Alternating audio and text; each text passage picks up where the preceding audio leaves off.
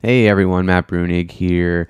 You've probably heard some of this in the news, and you're going to hear a lot more of it uh, coming up soon. But um, there's going to be a big push to make changes to Social Security and Medicare, sometimes called our old age entitlement programs. Um, the proximate reason, there's no real proximate reason for this push, but because Republicans now control the House, they can hold various things hostage, uh, including the debt limit, including budgets. And as part of holding that hostage, uh, it seems like they want to uh, try to cut Social Security and Medicare. And in doing so, the main thing that you hear a lot uh, about it is that they want to change the that they want to increase the retirement age. Um, so let's look here on the Washington Post. This was from a couple days ago. Their plan would raise Medicare eligibility to age 67 while allowing for more private sector plans, while lifting Social Security to age 70 for younger workers and changing the way benefits are calculated. Um, that's a not a well written sentence, but we'll take it as it is. So, right now, uh, if you're retiring today, the quote unquote full retirement age is age 67. And the idea is we'll raise that to 68 or 69 or even to 70, um, and that will uh, help uh, reduce spending on old age benefits.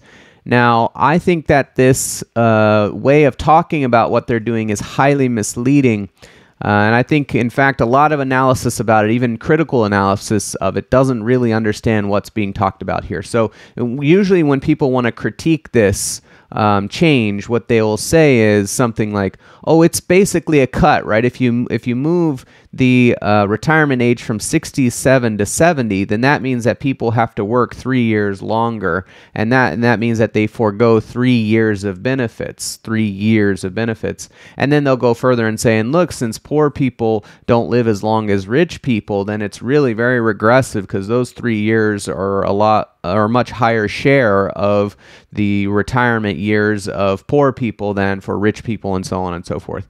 And that's all I you know, I mean, that's that's all well intended. You know, the critiques are all well intended. I don't mean to and I used to think this too. I used to think this is what was talking being talked about as well. But this is not what's being talked about. The full retirement age is not like something you have to achieve in order to um, uh, retire. Uh, the Social Security has 96 retirement ages between age 62 and 70. Every month between age 62 and 70 is a retirement age, meaning you can go to the Social Security Administration, you could say, hey, I want a retirement, you declare, I want to retire, you declare that, and then depending on what month between those 96 months you retire, you get different amounts of benefits. So, what's really going on here, and I'll get into this a little bit in depth, is not so much a cut in, it's not so much that they're going to make people work more, it's just they're going to reduce your benefits. Like the amount of monthly benefit you get at any given time when you retire um, is just going to be less than it is today. It's just a cut. And the reason I don't, the reason I say it's very misleading is precisely for what I just went across just just a few minutes ago, right? No one thinks about it as like, oh, they just want to cut benefits by like 20% or 30% or, or 15%, whatever. Instead of just saying, hey, this is a 20% benefit cut, it's a raise in the retirement age, which means you work long, and that's just not that's just not accurate. So, anyways, I thought it might be fun to go through like a little a little how to, a little a little not tutorial per se, but a little explanation of how Social Security benefits actually work and how your benefit is calculated, and then that'll help us understand what it actually means to increase the retirement age. Okay, so let's start with this example here.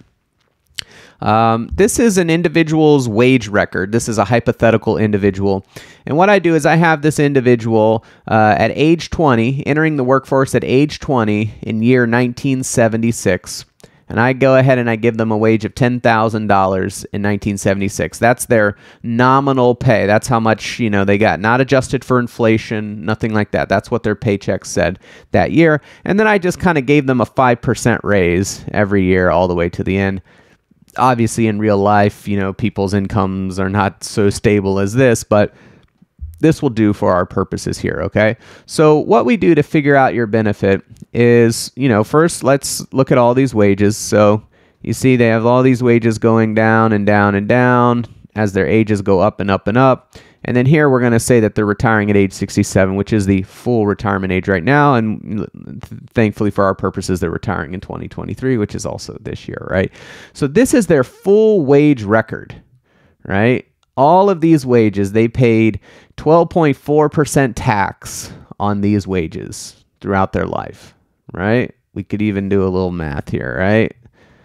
Let's see. This is not adjusted for inflation, right? Just their nominal tax. And this includes uh, the employer side and the employee side tax.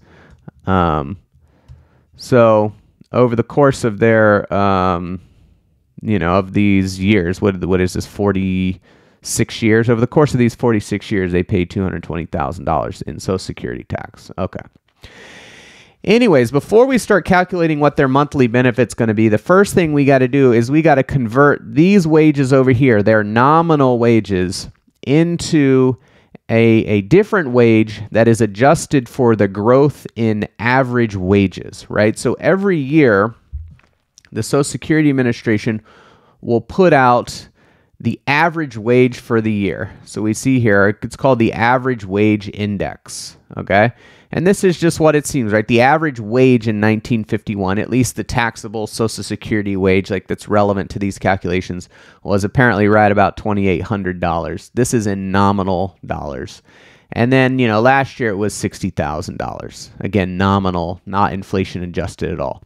So all we're going to do to get to adjust their actual wage to an AWI adjusted wage, a wage adjusted for the average wage index, is we're going to take the value of the average wage index at age 60 for the individual. So here, that's this one, right? Because they turned age 60 here.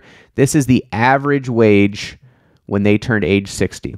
We're going to take that amount and we're going to divide it by the AWI value in any given year. So for the first year, we're going to take 48,642 and divide it by 9,226. In fact, I'll go ahead and do that here just to show you what it looks like.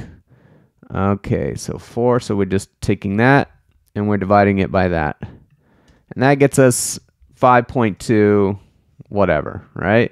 So then we'll take that 5.2 and we'll just multiply it by the average wage, by the actual wage you had, and you see this is your AWI adjusted wage right? Which I have here as well, 5270. And I've gone ahead and done that for every single value here. So this is your, the AWI adjusted wage of this person for every single year. Um, okay. So we start with that. So then the next thing we're going to do Oh, and then notice here, they have a rule, it's kind of a strange rule, but after age 60, after age 60, they just put in your nominal wage. So they stop making these AWI adjustments. After age 60, you just get your nominal wage, put it in. Is is your AWI adjusted wage, right? They just don't make the adjustment anymore. So for 61, 62, all the way through 66, we just copy your nominal wage right over. Okay. Now the next thing we're going to do is we're going to need to find this value here. Your average indexed monthly earnings, okay? Um, and I don't know if they explain it here. This average summarizes up to 35 years of a worker's indexed earnings. Uh, basically, what you do is you take the top 35 values from this list. So this person worked for 46 years. So we'll take the top 35 years of those 46 years using the AWI adjusted wage. Um, so I've done that down here, and we'll we'll take an average of it, okay? And that'll get us like an, an annual amount, okay? So this this is that amount. So it's like 59.194. You can see that there. Okay.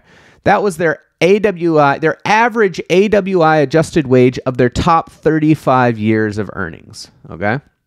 And then we'll take that and divide that by 12, and that'll get their That'll get us their average index monthly earnings, their AIME. Okay. And when I say top 35 years, you know what what that also means therefore is that this calculation ignores for this person 11 years of earnings. We don't count that into our calculation at all. If you had less than 35 years of earnings, let's say you had 25 years of earnings, 25 years of earnings would still make you eligible for benefits. But what they would do is they would take your 25 years of earnings, your of your AWI adjusted earnings, and then they would add in 10 zeros so they'd be they would be like, well, for these other 10 years, we're gonna you you earn zero dollars, right? And then that would go into the average. Okay. In this case, the person has has at least 35 years, so we don't need to add in any zeros. But those zeros would drag down your AWI adjusted wage, right? Anyways, we get the average index monthly earnings, the AIME, for this particular individual. Again, this person is retiring. Well, we'll get into that in a minute, okay? Okay, so we've got that. Then, once we've got their AIME, we're going to m- apply this uh, primary insurance amount formula, the PIA formula. The PIA formula is set right here. So for the first 90%, or excuse me, for the first $1,115 of AIME, we multiply 90%. So essentially, you're going to get a replacement of 90% of your first $1,115 of earnings. From there, it, any amount of your AIME that exceeds 115 but is less than 6721, we're going to multiply that by 32%. So for that chunk of your AIME, you get 32% replacement, right? For the first 1,115 of your AIME, you get 90% replacement. For this next amount, right here, you get 32% replacement. And then for any amount of your AIME that exceeds 6721, you get 15% replacement. So you see it's a kind of graduated replacement. 90% of the first chunk, 32% of the next chunk, and then 15% of whatever remains, okay? Now, uh, in this case, this person, uh, you know, they're in the middle. They don't ever get above 6721. So we basically just take 90% of 100 1115 and then we take this 32% of the difference between 1115 and 4933. we add that together and this is their primary insurance amount, their PIA, right? $2,225. Okay? Now you might say, oh, okay, so that's what they're going to get each month. Every month they'll get $2,225. That's primary insurance amount, right? Uh, not so fast, right? So this is where the retirement age comes in. If you retire at the full retirement age, which right now is 67, but they're saying they want to increase to 7, 70. If you require at the if you retire at the full retirement age, then yes, you will get $2,225 a month. That will be your payment. But remember, the full retirement age is one of 96 retirement ages because you can retire any month between your 62nd birthday and your 70th birthday. You have 96 different retirement windows. The full retirement age is one of those 96 retirement windows. So the question becomes what happens if you retire in one of the other 95 windows? And the answer is that they essentially, if you retire before the full retirement age, you receive less than this amount, less than the PIA. And if you retire after it, you receive more than the PIA, right? So the full retirement uh, age is nothing but a like placeholder that then determines how much money you get at all the retirement ages. So how much do you get reduced if you um, if you retire before the full retirement age. And for this, we'll go to the Code of Federal Regulations. CFR, uh, what is this? Uh, CFR uh, 20404.410. All right. Um, here we go. How does SSA reduce my old age benefits if I retire early? You see, the reduction is based on the number of months of entitlement prior to the month you attain the full retirement age. The reduction is 5 ninths of 1% for each of the first 36 months and 5 twelfths of 1% for each month in excess of 36, right? So we take the month that is your full retirement age. In this case, it's right at your 67th birthday, whatever month that is, okay? And for the 36 months prior to that, if you retire anywhere in those those 36 windows, what we're going to do is we're going to take the distance between the month you retired and the month of your full retirement age, which again would be your your, your birth month at age 67, right? And we'll just multiply that by five ninths of 1%, right? So if you uh, retire 10 months early, we'd take 10 months times five ninths of 1% and that'll tell us how much to reduce it. If you if you retire more than 36 months early, right? More than 3 months early, so maybe at age 62, your first chance you can do it. For the amount beyond 36 months that you retire early, they reduce it by 5 uh, twelfths of 1% for each month. Okay? And then if you retire later, which right now uh, you can do because you can retire anywhere between 62 and 70, and the full retirement age is 67. Now, notably, if they go all the way up to 70, you, there is no later retirement age. But if you retire later, you get these delayed retirement credits. Okay, and those are uh, somewhat more easily calculated as two thirds of one percent of your full retirement age benefit. Right. So if you retire one month after your full retirement age, instead of getting 100% of the PIA right here, this PIA, instead of getting 100% of the PIA, you will get 100 point what you would get what 100.66667%. Does that make sense? Um, if you retired three months after it, you would get 102% of the full retirement amount, right? So when you put this all together, you can see here in this graph, and I'll hide my head just in case I'm uh, causing problems for you here. I don't think I am, but as you can see here, this is really what it looks like, right? So if we take age 67 right now, this is the percent of Social Security primary insurance amount you will receive by age of retirement for different full retirement ages, right? So we just take, you, know, um, we take those percentages that you get more or less than the full retirement amount, um, and we just kind of put it on a nice little graph here, right? So right now, this is what it looks like at age 67. At age 67, you get 100% of the primary insurance amount. So let's look at that. So if you retire right at age 67 and you're this person that we talked about before, you would get 100% of the primary insurance amount, which of course is $2,225. Okay. Now let's say you retire uh, a year early. Um, in fact, let's actually go all the way down to 62 because that's the first time you could retire, right? If you retire at 62, what we'll do is you'll, we'll, we'll give you 70% of your primary insurance amount. So I'm just going to take this amount and I'm going to multiply it by 70, right? 0.70. Okay. So if you retired at 62, instead of getting 2,225, which is 100% of your primary insurance amount, you would get 1,558, which is 80% of your primary insurance amount. And so the difference there is $668. That's how much less you would receive each month in this like old age annuity um, thing. So what they do when they increase the retirement age, it again, it's not that you now have to work until you're 68. Like let's say they go from uh, a full retirement age of 67, which is what this red line looks like, to a full retirement age of 68 which is what this black line looks like. You can still retire at age 67. In fact, you can retire at age 62, 63. You can retire at any of the 96 retirement windows right? There's 96 retirement windows. You can retire at any one of those. It doesn't change that. What it does is it just moves this line down. Right? So now when you retire at 67 instead of getting 100% of the primary insurance amount, you get 93% of the retire the um, you get 93% of the primary insurance amount, which in this case is $2,069 for a reduction of $156.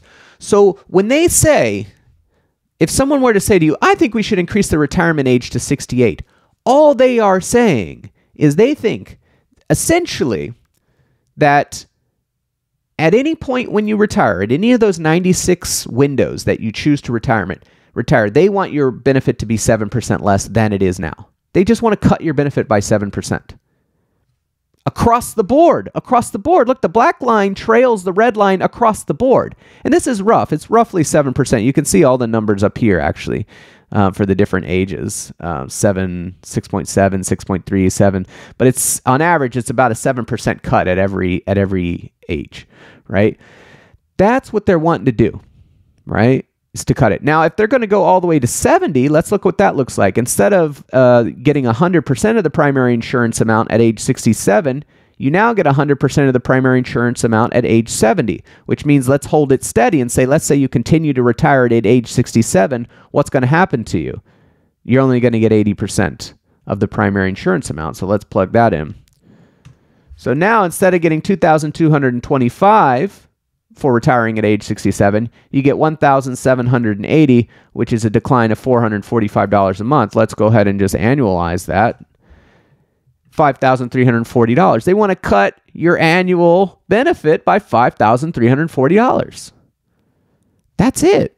That's it. They just want to take the amount you're getting right now for every $100 you're getting right now at any one of the ages, at any one of the ages, and cut it by $20. Cut it by 20%. That's it. That's the whole thing.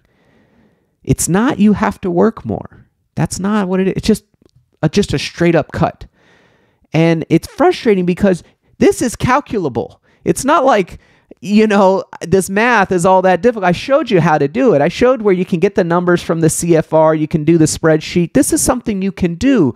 But every single newspaper article that's going to be written on this is just going to be like, they're just going to increase the age. The, the age is going to go up. The age is going to go up. And people are not going to process what is otherwise a very simple proposal, which is if your proposal is to go from the full retirement age being 67 to the full retirement age being 70, all you're doing is saying, I want to cut benefits by 20%. I want people to have 20% less benefit each each month, each year in retirement. 20% less cash. I think old people should have less income. Precisely speaking, I want them to have 20% less income, at least of this kind of income. Obviously, you can have other kinds of income in old age, but that's it. That's the whole thing. Okay. Now, before I close here, I wanted to show you a little bit of thing here, right? Because one thing I I think um, people struggle with when talking about this is I think there's an intuition that hey, when when life expectancy is increasing, um, then of course we're going to have a more more of the population is going to be over 65 let's say like holding all else equal and blah blah blah blah blah right? So you're going to have a higher percentage of your population that's retired. And you might say well look if life expectancy is increasing like we don't necessarily want you know 50 60 you know we don't want an endless amount of our population to be retired. We need a certain amount working and all this kind of stuff. And there's this idea that hey if life expectancy goes from like say 60 to 80 which it has, I think, over the last, you know, 100 years or something like that, then, you know, people really need to be working like 20 more years than they used to, right? So maybe before you would retire at age, I don't know, if before you had to retire at age 65, if like life expectancy increased by 12 years or whatever, maybe you should have to work an extra five years. And I think what this misses is just because life expectancy is up, it's not this that does not that does not also mean that people who are 70 uh, are like physically capable of working, that they have a high capacity for labor, right?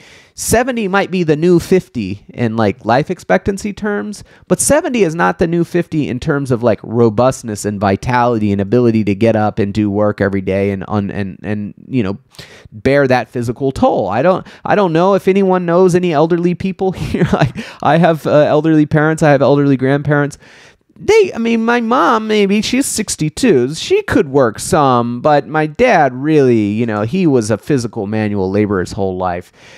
His ability to work i think at this point is very limited and my grandparents are so like it's just i think people misunderstand the degree to which you can't just say put them to work right there are some like latent hours among retired people. There are some retired people, especially some people retire in their late 50s or whatever. There are people out there in the retired population who could pump more hours into the into the labor force if you like really wanted to do that. I don't know. I'm not really all that hot on that myself.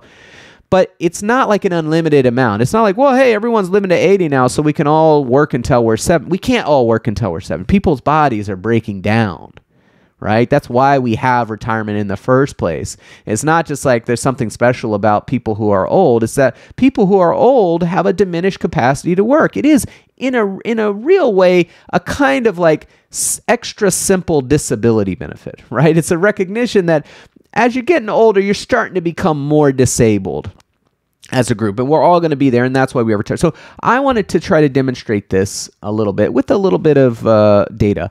Um, I'm not going to do like a full data tutorial on this, but I'm going to show, I'm going to use the uh, annual social and economic supplement from uh, the uh, Census Bureau. This is uh, the March CPS. I've talked about it in other ones. Nor, and I think in all the other uh, tutorials, I've always used the uh, IPUMS data file. I don't actually use the IPUMS data file that much. I normally use this file directly from the census. So I'm going to use that here. and what I want to do is I want to show you how disability rates change as people get older. So we can see that as people getting older, it's not just like a smooth ride, like, oh, no, no problem. Just put the 70 year olds to work. You know, the 70 year olds, they're more, they're disabled, you know, even the ones who don't show up as like literally they, when the survey taker calls them and is like, are you disabled? Even a lot of them who are, who probably say, no, I'm good. You know, I'm not that disabled. Again, if you've ever d- dealt with elderly people, they, they, they, they, they will say that, but their capacity to work, even if they're maybe not officially disabled, is, is quite diminished. So I think we can at least start to get a whiff of this. Okay. So for this, this is the 2022 March supplement. So they would ask people in March of 2022, they would ask them questions about the year 2021, what you were doing in year 2021. So we're going to go into the data. You, you know, you download these files here. You can get the C- CSV. That's what I've got. You can get the ASCII file, which is a fixed width file. Um, anyways, we'll go into the data dictionary here. Um, should I bring my head back? Let me bring my head back. Okay. All right. So what we're looking to do here, let me check out what I got going on over here. This is a little script I wrote. So you download this the uh, the data file, which is here. I think I have this one. You download this, and then this is the data dictionary. This data dictionary is going to tell you what all the variables are and, and therefore how to calculate certain things. So what we want to do, first thing first, is we want to figure out the age. All right, so this is the age variable. It's just a underscore age. So in the CSV file, the first row will have a column that says a underscore age, and all of the uh, numbers that are in that column, like going down, are going to be the age of that particular survey respondent. So when we go in here, um, the way I'm going to grab age is I'm just going to grab it right here, a age, right? So for every record in the file, we're going to grab their age um, and, and as you can see here, the values are 0 to 79 for the first 79 years of age. So anyone from the age 0 to 79, they just have their literal age in there. If you're between 80 to 84, all those people are just given the age 80. And then if you're 85 or above, all those people are just given the age 85. And the reason they do this is for uh, privacy purposes, right? There aren't that many people who are above these ages. And so by collapsing, you know, them into smaller, you know, by making everyone between the ages of 80, 80 and 84 represented by 80, then you can make it harder to figure out who the people in the surveys are if you were trying to do like de-anonymization, which they really, uh, they don't like you to do. Um, okay, so we're going to do that. And then we also have the weight. Um, all right, so for that's, we use the March supplemental weight. Uh, the ASEC supplemental weight, it's called Mars Sup weight. So you can see here, I grab it here by using uh, this uh, little um, little function um, that I write. Um, I'm not going to go over that, but that's the weight. So for each line, we grab their weight and we grab their age. Now notice the weight has two implied decimals. So when we're going to try to print out the weight later on, if we want to print out the literal weight of the person, we're going to divide by 100. Uh, weight, again, is how many people that person represents in the overall population. We need weight in order to make sure the final result is representative of the entire population. Okay. So first thing I'm going to do is I'm going to uh, create uh, two little uh, dictionaries. We got a population dictionary, which I call POP, and a disability dictionary, which I call disability. Um, I'm going to go through uh, numbers 0 through 80, and I'm going to set these dictionaries equal to 0 uh, for all of the ages. So I'm basically just creating these counters. Um, and uh, for each age, I'm going to go ahead and say population for age zero is zero. Disability for age zero is zero. And then as we go through the second time, it'll be population for age one is zero. Disability for age one is zero. And we'll do that all the way from zero to 80. Okay. Now, there are a lot of disability variables in the file uh, that do different kinds of things. The one that's sort of most literally on point is this variable right here. Um, dis underscore HP. And they just ask, uh, does this person have a health problem or disability which prevents work or which limits the amount the kind or amount of work. Again, this is a question they ask the person. Do you have a disability that prevents you from working or that limits the amount of work you do? So it's up to them to give an answer. Um, the universe here is all persons age 15 plus. For so so for kids between the ages of 0 and 14, this question is not asked. So they're all all those kids are just going to have a value of zero. NIU means not in universe, right? They're not in the universe of survey uh, takers uh, that are of survey respondents that are asked this. Okay, so what I'm going to do is as I loop through all the records, I'm going to add up all the population here, and then I'm going to say if the person, if this HP for this person is equal to one, which means yes, then go ahead and add them to the disability counter. And then when we get to the bottom here, I'm going to print basically the number of people who wind up in the disability counter, their weight, divided by the number of people who wind up in the population counter, their weight. And then that'll give us a percent. That'll give us a percent of people who are disabled at that particular age. All right. So let's run the script and see what that looks like. Uh, All right, so we'll get an age and then we'll get a percentage. And the percent is how many people are disabled at that age, how many people reported that I have a work limiting disability um, when the census taker asked them. Okay, wonderful. So remember, 0 to 14, we're going to get 0% because they're not in the universe. None of those people were even asked the question. At 15, some disability pop dis- disability pops into existence uh, and we get 2%. So at the youngest age, only 2% of people are saying, yeah, I have a health problem or disability that prevents my work or limits the amount or kind of work. Only 2% of people at age 18 are saying that, or at age 15 are saying that. At age 19, we go to 4%. So now these are people who are out of out of high school now. They're kind of at least possibly able to work, and we're only at 4% at that age. Now, as we get older, right? At 30, 7% have a work limiting disability. At 50, 10% have a work limiting disability. At 60, 16% have a work limiting disability.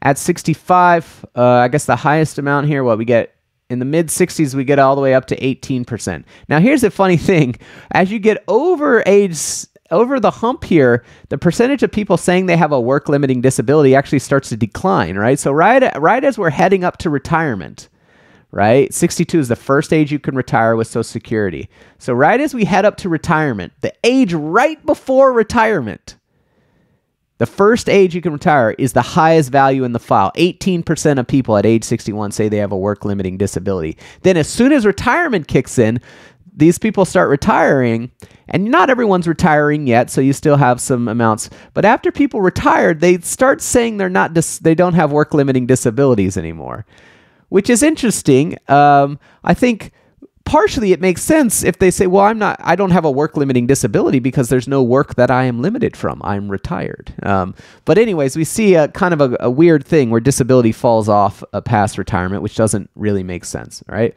Um, but whatever, the point remains these folks are getting disabled, and even people who are not saying they have a work limiting disability.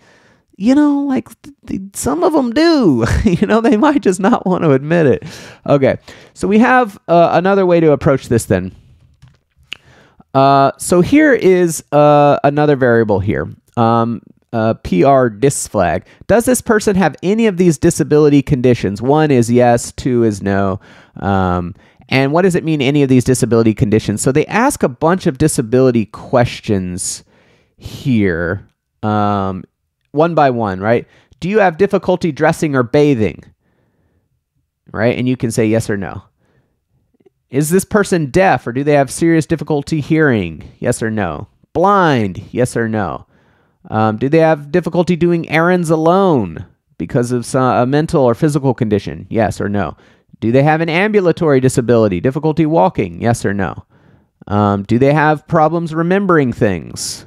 Yes or no. So if they have any of those, this variable, which is like the disability flag, this variable will be set equal to 1, right? So this is a good way to, you don't have to go through all of those variables. You just say, if they have any of them, this one's going to be hit um, at 1. Now notice these are like serious disabilities, you know. Um, it's always serious difficulty. So it's not any difficulty, it's serious difficulty.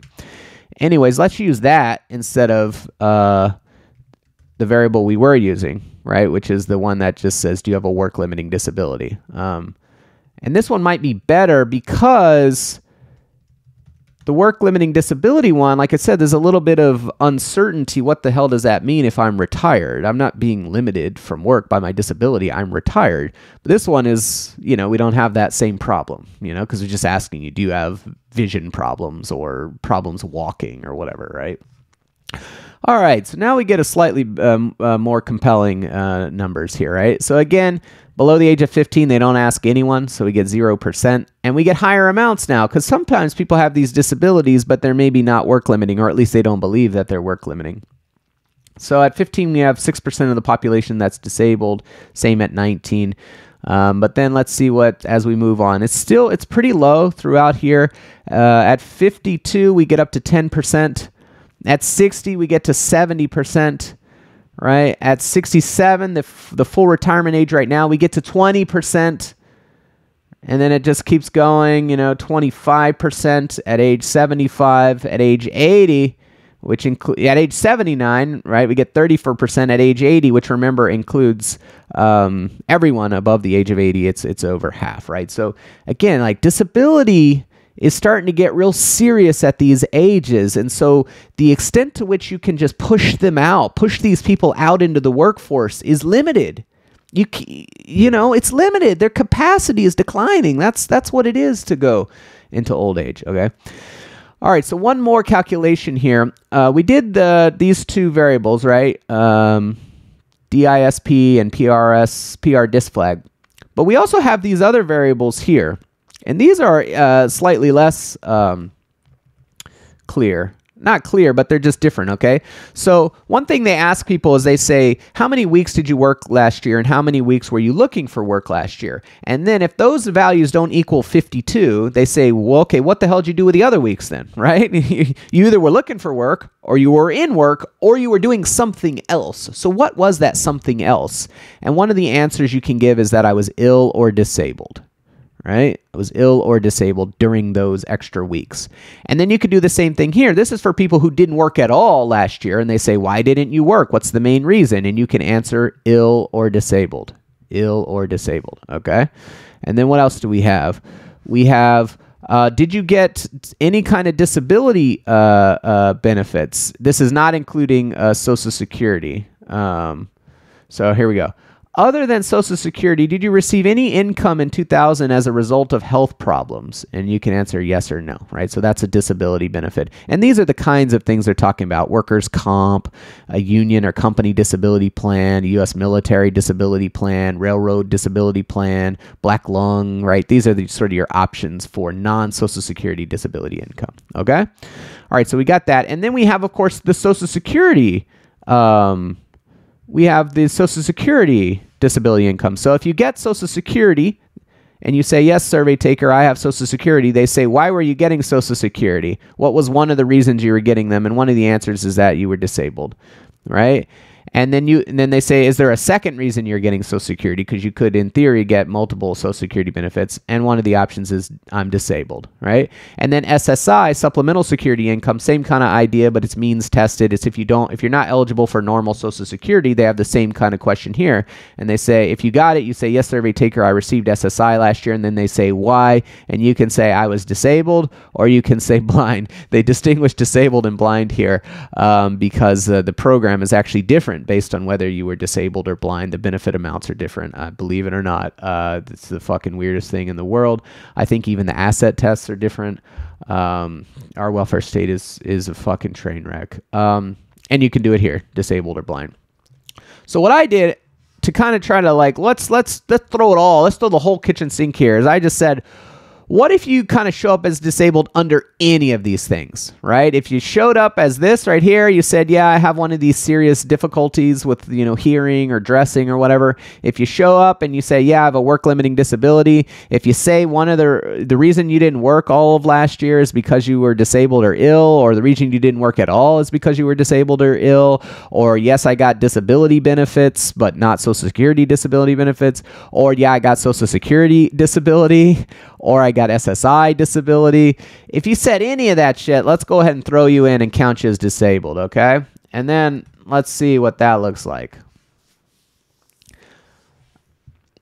This is of, you know, the most comprehensive, I guess you could get. Like anyone who registers any kind of disability in, in one way or another, let's throw them in the, let's throw them in here. Um, all right, the numbers don't vary all that much as we see again below 15, they're just not even in the universe. They're not counted. Now we're starting to get some numbers here. Even at age 15, you got 8% of people who are disabled in some one sense or another.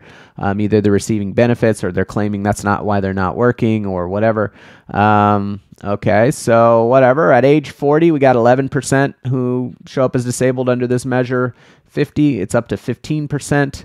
At age 60, it's 25%, one in four right? At age 65, 67, we're at one in four, right? So people are starting to retire. That's where I think you might see a little bit of a, a dip. Um, at age 75, 31%, one in three are disabled. At age 70, it's still one in four.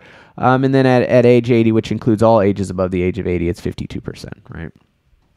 So the point in all of that is just that these folks are disabled. like, you know, it's not just like, oh, cool, people get to have some time off, or do they not? And we need to ask ourselves a question, you know, how much do we want to encourage people to have time off? How much do we want to pay in tax so that old folks can have a have a good time in their in their elder years, maybe spend some time traveling or spend some times with kids and and it's just, you know, it's just a calculation we have to make. And, you know, as people are getting older, yeah, all right, you know, instead of, you know, maybe you'll you'll retire a little bit later but you'll still have 10 years of retirement or 15 years of retirement you know? And you'll get the same amount of retirement but since you're living longer you do need to retire later right? And it's all good no problem. And what that misses again is that as people get older there's just an objective decline in their capacity to work. And i think you see this very well in this uh, in this ASEC file. It, you run up against a real hard line here and people are going to suffer you start saying, hey, if you retire at 67, we're going to cut your benefit by 20% relative to the status quo. Well, I mean, now they get, you know, folks who have disability, they may not even have a great earnings record. Like, what do you know? There's going to be a lot of suffering from this. It's not just, ah, oh, I'm going to have to lose a couple years of retirement. Ah, gosh dang it. I'm going to have to, I'm going to have to work a little bit longer. It's not that. It's a cut in your benefit, and to the extent that people are unable to survive on that lower benefit amount, and they do try to work longer, many of them are not going to be able to work longer because they have these disabilities. So I, I don't know. I mean, I would say, you know, if you look at it, I don't include it here, but, uh, you know, the amount of old age benefits we uh, pay for in the U.S. as a percent of, you know, our GDP is not excessive relative to the OECD. Not at all. It's right there. Um, so I don't really see any reason for doing this at this moment.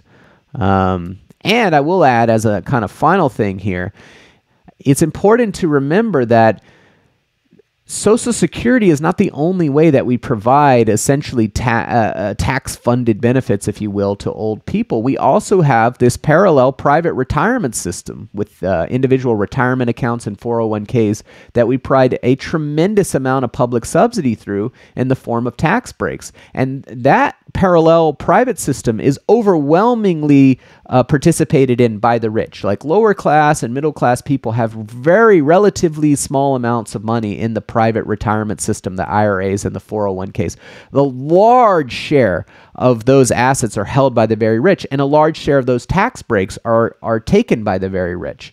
Um, and so and we spend about we spend about a trillion a year on social security which includes disability which includes old age and survivors insurance. We spend about a trillion a year on that. We spend about 300 billion a year just on the private retirement accounts by providing tax breaks to people who contribute to IRAs and 401ks and that amount v- massively benefits the rich way more benefits the rich than social security does right? And so if you if you want to get into the game of starting to cut cut cut let's start cutting some of those tax breaks for the private retirement system, which overwhelmingly benefit the rich. Let's start there.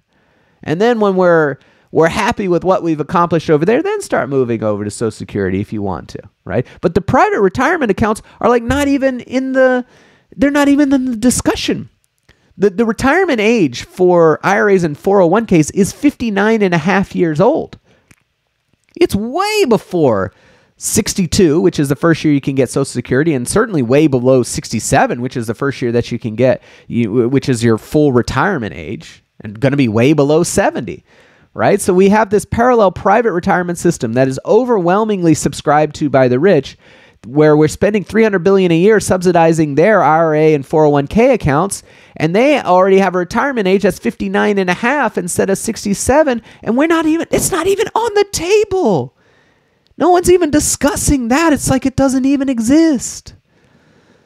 So, anyways, subscribe, comment, uh, give me the thumbs up, all that kind of stuff. I got more more stuff coming. Let's let's try to avoid uh, let's try to avoid you know uh, uh starving the starving the olds in the next few uh, months as we as we work through policy. Let's try to avoid that if we can.